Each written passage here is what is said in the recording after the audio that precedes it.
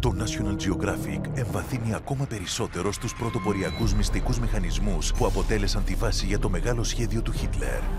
Ο πανίσχυρος μηχανισμός προπαγάνδας. Το προηγμένο οπλοστάσιο. Οι υπόγειες μυστικές σύραγγες και τα οχυρά που διαμόρφωσαν τη ραχοκοκαλιά του Τρίτου Ράιχ. Οι υπερκατασκευές των Ναζί επιστρέφουν με νέα επεισόδια. Κάθε Δευτέρα, 9 το βράδυ, στο National Geographic.